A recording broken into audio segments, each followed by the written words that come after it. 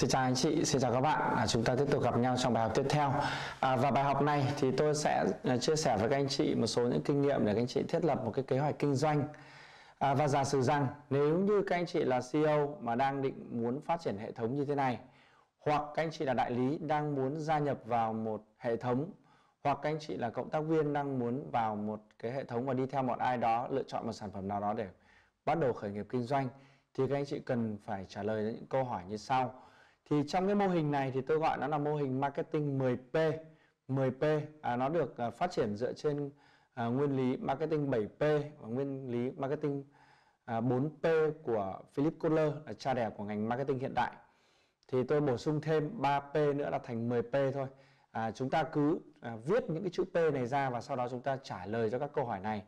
Rằng là chúng ta sẽ kinh doanh như thế nào chúng ta muốn làm như thế nào ok? Thì đầu tiên là P1 là sản phẩm thì sản phẩm chúng ta bán là gì? Cách thức đóng gói ra sao? Bao bì như thế nào? À, cách thức định giá chúng ta nhân giá bao nhiêu lần?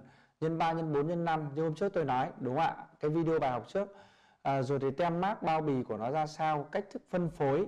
Thì đấy chính là cái phần à, P thứ tư đúng không? À, trong phần P thứ hai là sản phẩm.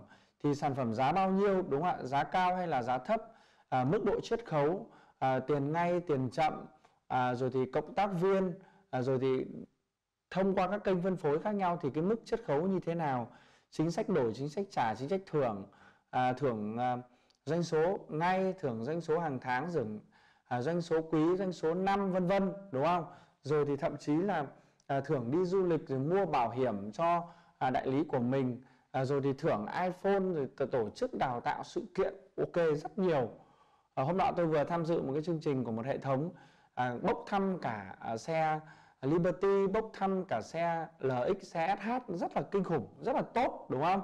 Thì tất cả cái này đều phải nằm trong chiến lược về giá về tài chính. À, B thứ ba là promotion tức là à, chính sách về quảng cáo bán hàng đúng không ạ? Bạn truyền thông thông điệp gì kênh công quảng cáo là ra sao kênh bán hàng à, cách thức nội dung à, tần suất chi tiền vân vân.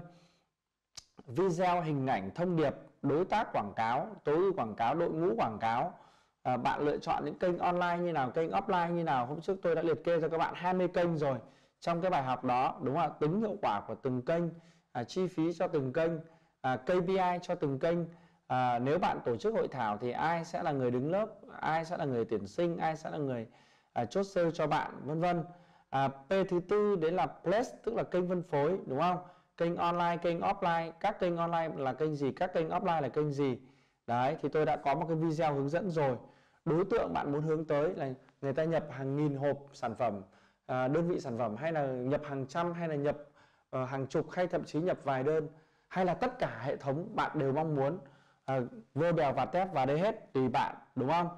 Rồi thì ờ, à, P5 là gì? People con người. À, bạn sẽ chọn ai làm cổ đông bạn sẽ chọn ai làm chuyên gia bạn sẽ đồng hành cùng với ai? Ai sẽ làm đội nhóm cốt lõi cho bạn?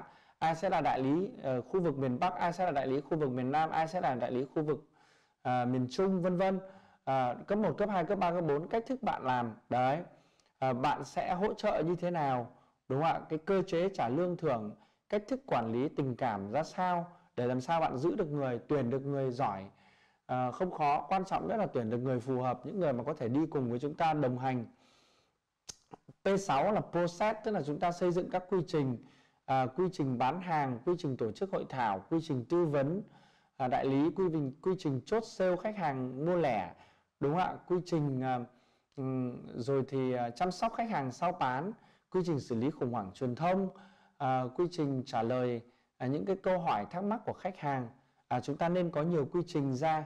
Việc mà tổ chức thành các quy trình thì khiến cho công việc của chúng ta trở nên dễ dàng và chúng ta làm việc cảm giác chuyên nghiệp và chúng ta sẽ làm được nhiều hơn kể cả chúng ta là CEO hay là chúng ta là đại lý cấp 1 hay là đại lý cấp 2 hay thậm chí là cộng tác viên thì chúng ta đều à, cần có những cái tư duy hiện đại và chuyên nghiệp như vậy thì sẽ giúp chúng ta nâng cao được cái trình độ cũng như là kỹ năng cũng như là khả năng và chúng ta ngày càng trở nên chuyên nghiệp hơn. Bởi vì bắt đầu chúng ta có thể xuất phát điểm rất thấp nhưng mà chúng ta tăng lên tăng lên dần dần. Và biết đâu đấy sau một thời gian vài tháng một vài năm các bạn có thể trở thành người đứng đầu à, như là rất nhiều các hệ thống bây giờ bắt đầu các bạn ấy kinh doanh cũng rất là nhỏ lẻ lom rom bán một vài đơn hàng thôi. Nhưng bây giờ trong tay các bạn ấy cũng có vài trăm à, đại lý và thu nhập cũng có thể từ vài trăm triệu đến cả tỷ tiền lãi một tháng. À, vô cùng tốt đúng không? À, cái P7 là triết lý kinh doanh của chúng ta là gì? À, triết lý kinh doanh của chúng ta là chúng ta trở thành người như thế nào? Chúng ta hỗ trợ được bao nhiêu người? Hỗ trợ được bao nhiêu mẹ bỉm sữa thành công? À, rồi thì hỗ trợ được bao nhiêu bạn sinh viên thành công? Vân vân à, chúng ta kinh doanh bằng đạo đức hay là kinh doanh bằng công nghệ vân vân. Đấy là cái những cái triết lý kinh doanh đúng không? P8 là tính hiệu quả performance. Thì chúng ta sẽ phải đo lường KPI chỉ số.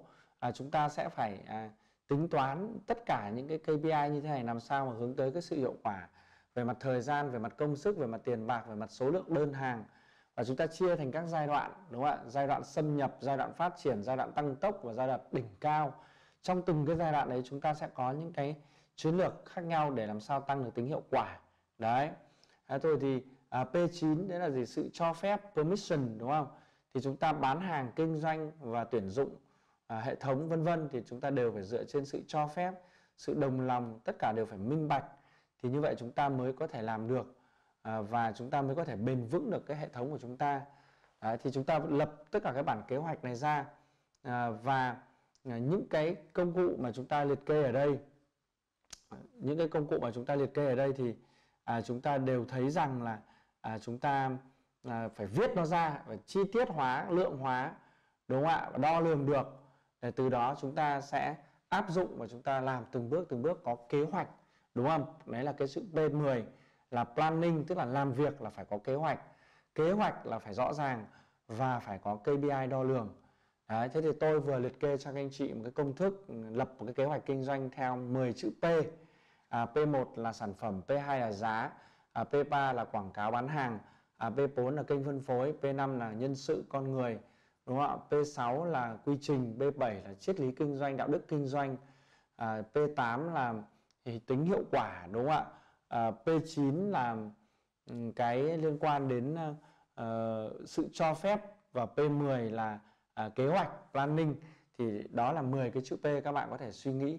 À, và nếu các bạn có đủ 10 chữ P này rồi thì các bạn có thể phát triển hệ thống của riêng mình hoặc là các bạn có thể gia nhập vào một hệ thống khác hoặc là các bạn có thể đi theo một cái người lãnh đạo mà người ta có cái tầm nhìn như vậy. Các bạn đặt các câu hỏi cho họ. Nếu người ta trả lời được cho mình thì mình đi theo. Và đi theo rồi làm bán kiếm tiền kiếm tiền. Và bước tiếp theo lúc đó các bạn làm gì? Mở riêng hay làm riêng hay bán thêm những cái thứ khác đấy là việc của các bạn. Tôi không quan tâm và một trong những nguyên tắc đấy là mình liên tục liên tục phải cải thiện các kỹ năng, các kinh nghiệm, đặc biệt là kinh nghiệm bán hàng, kinh nghiệm kiếm tiền. Bởi vì đấy là kinh nghiệm sẽ giúp cho các bạn à, có cuộc sống luôn luôn tốt đẹp và và tốt đẹp hơn nữa, đúng không? Ok. Một lần nữa xin được cảm ơn các anh chị và các bạn đã theo dõi video bài học này.